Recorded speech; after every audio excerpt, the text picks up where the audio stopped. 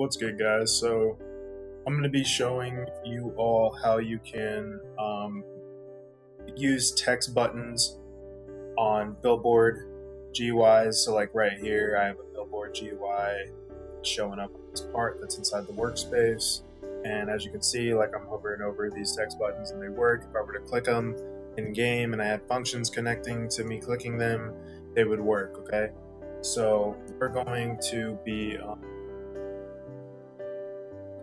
we're going to be going over that real quick because uh, I saw somebody was saying that they didn't know, they didn't think that that was possible, and you know, so um, I'm letting you guys know it is. I actually had to do some research myself in order to implement this for a game that I'm making, um, and so yeah, thought I'd make a video on it.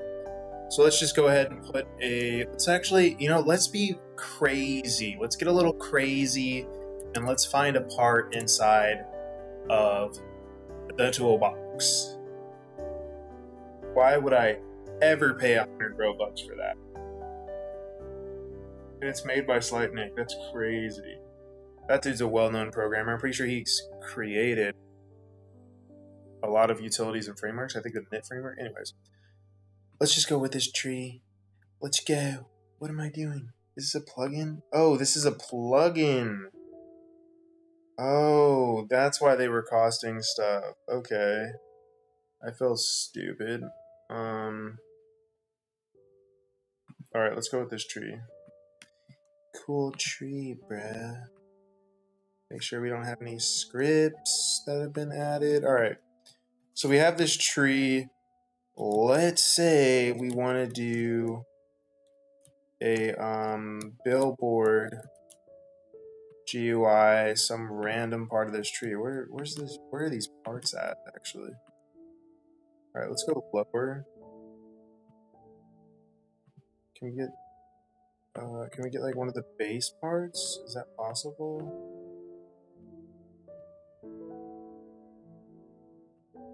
Um Alright, whoa, dude, whatever. Hold on a second. Oh, okay. We'll just do the main part. It's like, is that a mesh part? Is this? Class name. Where's class name at? Okay. Mesh part. Alright, so we're to put it inside this mesh part. Sorry, guys.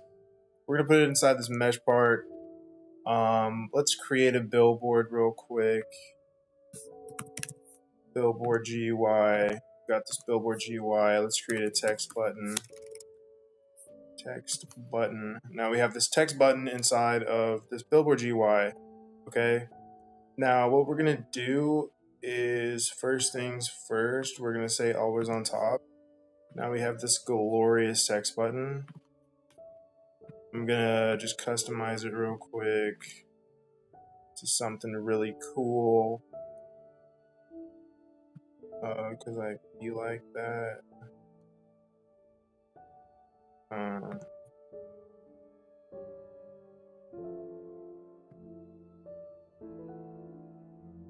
there we go.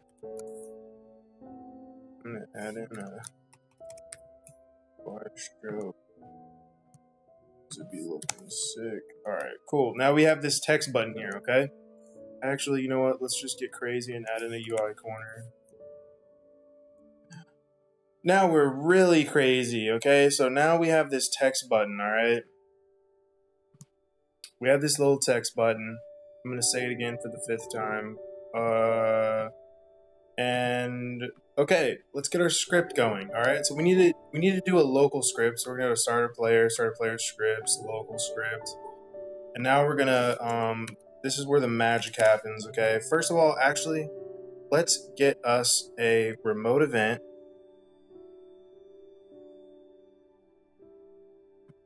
remote event, okay? And we'll do uh, billboard text button event. I always do like really long names for my events, so it's perfectly clear what I'm doing.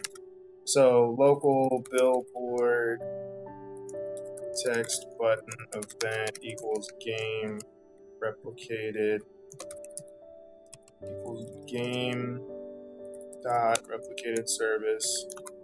Wait for child billboard blah blah blah blah. So let's go over here. And now we're going to do billboard text button event uh, and we're going to actually get our billboard. So this is something that this is how we're this is to work okay? We're to drag this part uh, not part but we're to drag this billboard GUI, okay, and we're going to put it in the starter GUI so that it ends up in the player GUI.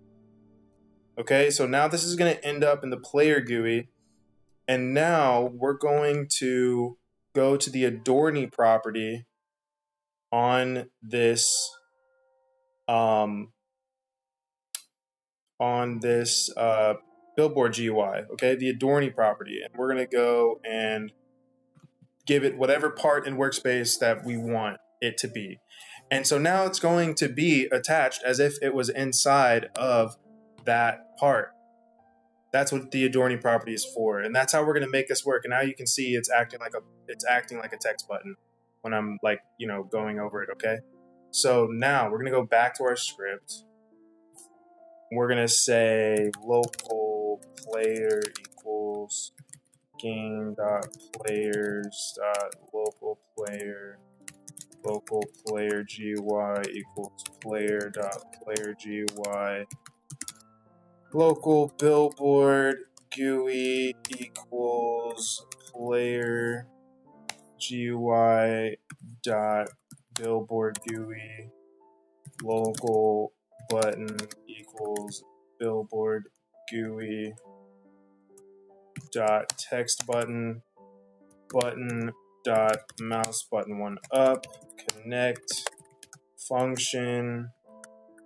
And then what we're going to do is we're going to say billboard text button event fire server. Um, and now we're going to go on the server here server script service, add a script, and we're gonna say, um, because we're firing on the server, we're gonna say, well, first we're gonna get our long variable right here.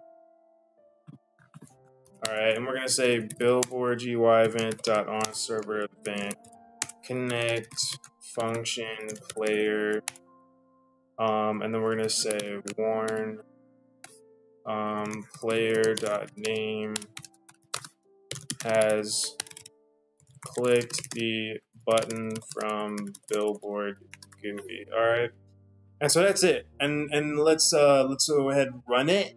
Let's go ahead and run it. Run it up. Run it up. Billboard GUI is not a valid member of player GUI. All right, so what I'm gonna do is I'm gonna do wait for child because obviously we need to wait for that mode.